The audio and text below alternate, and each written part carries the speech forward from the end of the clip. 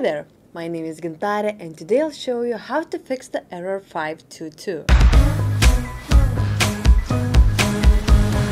The error 522 connection timed out message is a server-side issue common for websites using Cloudflare. A content delivery network or CDN service like Cloudflare speeds up the network connection between a browser user and a website origin server However, sometimes the server fails to respond within a specified time. This issue also means that the Transmission Control Protocol or TCP handshake between the web server and Cloudflare has failed.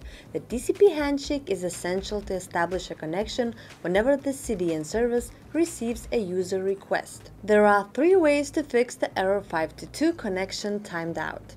Check if the web server is working.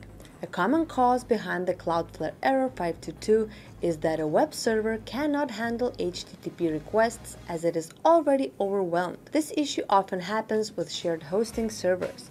To troubleshoot this error message, check if the origin web server is active and accepting HTTP requests. For Hostinger users, head to hpanel, order usage, and take a look at the CPU usage, memory limit, processes, and bandwidth. Reaching the maximum threshold for any of these metrics will slow down the website and cause this error. To determine whether you have reached the limit, check if the purple line touches the red line on the graphs. In addition, check if there is ongoing maintenance and if so, just wait until the maintenance is over and the speed returns to normal.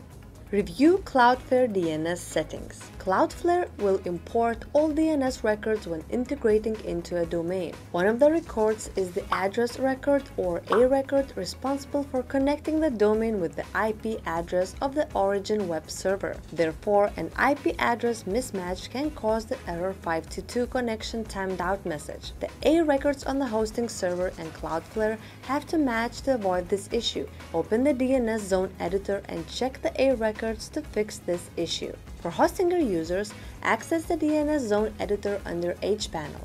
On the DNS settings, take note of the IP address under Content next to Type A. Next, head to your Cloudflare configuration menu, click on the DNS button. Under it, check the IP address next to Type A.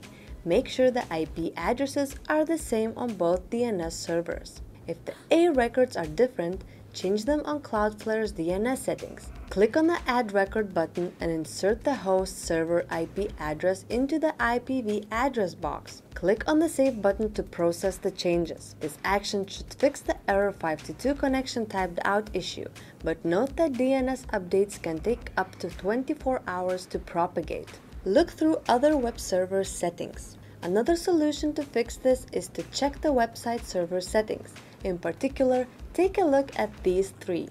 Enable Keep Alive. Cloudflare uses the Keep Alive header entry to maintain established connections with the web server. To employ this method, add the following code to the htaccess file.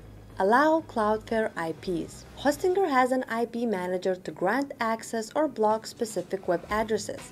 Head to hpanel, Other, IP Manager to control IP routing for your site. Include Cloudflare IPs under the Allow an IP address section and click Add. Disable Cloudflare. If none of the previous methods work, disable this CDN service temporarily. Hostinger users with Cloudflare can follow these steps. Head to your H-Panel and click on Cloudflare under Domains. Toggle the service status off and click the Save button. To use the CDN again, I recommend restarting your Cloudflare account. I hope this helped you solve the error 522. If you have any questions, let me know in the comments below and I'll answer them. Don't forget to subscribe to Hostinger Academy. Thanks for watching and I'll see you soon.